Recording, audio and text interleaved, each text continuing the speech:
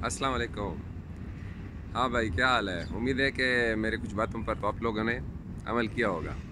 कहते हैं कि एक दफ़ा हज़रत उमर रज़ी को बाज़ार में एक आदमी मिला तो उसका पेट निकला हुआ था। तो हज़रत उमर रज़ी ने कहा ऐसे उसके पेट पे हाथ मारा और कहा माहा था बोला, ये क्या है? बोला, आदमी बोला कि, ये बरकत, अल्लाह की तरफ़ से बरकत है। हज़रत उमर रज़ी ने कहा कि, ये बरकत नहीं है, बल्कि अल्लाह की तरफ़ से गज़ाब है। फिर कहा कि, या यूहन्नास ए लोगो, सुन लो कि अपने आप को आजमाइश से बचाओ, यानी मोटापे से बचाओ, क्योंकि ये नमाज़ में, ये नमाज़ में सुस्ती पैदा करती है और बदल के लिए नुकसानदेह है और तीसरी बात कही कि, यानी कि बीमारियाँ पैदा करती हैं। सारी हमारी बीमारी अक्सर पेट की वजह से ही होती हैं, जब पेट बढ़ता है। और फिर कहा कि देखो अपने खाने पीने में अतदाल से काम लो, क्योंकि ये सेहत के लिए अच्छा है। आपके फजूल आपको फजूल हर चीज़ से बचाती है।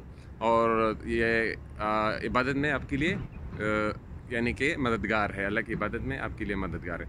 तो भाई पेट के निकलना बहुत नुकसानदेह बात है। या हज़रत उमर रज़ी हो यानी कि बहुत बड़ी बात कह गए तो भाई पेट का निकलना इससे अपने आप को बचाएँ। और घी वगैरह आप देखें ना जब आप हाथ पे लगाते हैं ना जब घी थोड़ा सा घी आपके हाथ पे लग जाता है तो फिर आप साबुन से कितने मुश्किल से आपके हाथों से जाता है कितने यानी साबुन लगाने के बगैर तो जाता नहीं। इस तरह जब ये घी पेट में जाता है ना तो फिर इसका आ, निकलना इतना आसान नहीं होता बहुत मेहनत करनी पड़ती है। तेल वगैरह तेल, पहले भी मैं कह चुका हूँ कि तेल और तली हुई चीज़ों से अपने आप को बचाओ।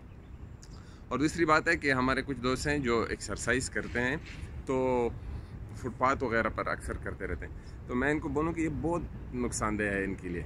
फुटपाथ पर एक्सरसाइज करना और सड़क पर, ये बहुत नुकसानदेह है, क्योंकि इससे आपके घुटनों में यानी कि इंजरी हो सकती है, आपको रात को दर्द होगा और टहनों में भी, टहनों में भी आपको दर्द होगा।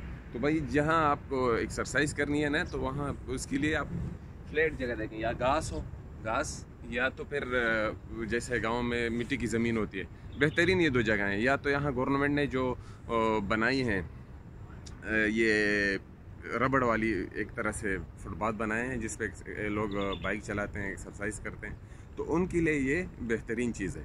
और तीसरी बात है कि अपने जूते जूते जो है ना, ये थोड़े खुले रखें एक्सरसाइज के लिए।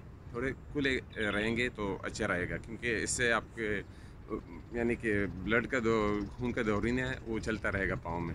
ज़्यादा टाइट रखेंगे तो ये नुकसानदेह और और यह है कि अपनी नींद पूरी करें। रात को देर तक जागते रहना आपके वज़न को बढ़ा सकता है, याद रखें। और सुबह ये होता है कि आप पानी पीकर नमाज़ पढ़ने चले जाएँ, उसके बाद थोड़ी एक्सरसाइज कर लें तीस मिनट। ख़ासकर जो दफ्तरों में भी लोग काम करते हैं, उनके लिए बेहतरीन टाइम सुबह का होता है। आठ, नौ बजे उनके दफ्तर स्टार्ट हो जाते हैं। तो ये, और ये सीज़न भी ऐसा है, जो यानी कि जुलाई, ये महीना ऐसा है कि आदमी के जो है पसीना बेहतर रहता है। तो ये बहुत आपके यानी कि फेट्स लूज़ हो जाते हैं इस सीज़न में। तो ये कहने का मकसद है कि मोटापा से यानी कि अपने आप को बचाएँ क्योंकि जो लड़के जिनके पेट निकले हैं, देखें, याद रखें, वो लड़के नहीं हैं, वो अंकल हैं, अंकल। तो इससे अपने आप को बचाएँ और इन और भी कुछ एक्सरसाइज होती हैं। तो बाज़ लोग कहते हैं कि भाई, हम तो काम करते रहते हैं, यानी खेतों में काम करते हैं, वो यानी मजदूरी करते हैं तो हमारा उनका तो ऐसा हो जाता है, लेकिन आप लोगों ने कुछ मजदूर देखे होंगे जिनके पेट निकले होते हैं। क्यों? क्योंकि हर चीज़ के लिए अपनी अपनी एक्सरसाइज होती है और डाइट होती है। पेट के लिए फिर ये कोर ये जो जगह है, इसको कोर कहते हैं लोअर एप इसके लिए अपनी एक्सरसाइज है। और बाद लोग आप लोगों ने देखे होंगे, इनके यहाँ ये चीज़ निकली होती है, इसको देखें। थोड़ा सा आप अब चेक करेंगे तो आपके भी निकले होंगे। इसको लव हैंडल्स कहते हैं। इसके लिए अपने अलग एक्सरसाइज हैं। मसल्स के लिए अपने अलग एक्सरसाइज हैं। तो अपने आप के लिए फिट रखें। बेहतर होगा आपके मूड के लिए, आपके सेहत के लिए और आपके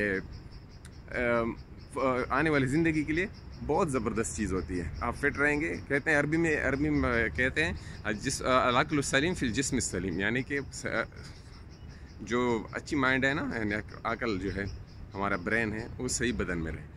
तो भाई एक कुछ मुफीद बातें थी आप तक पहुँचाने के लिए।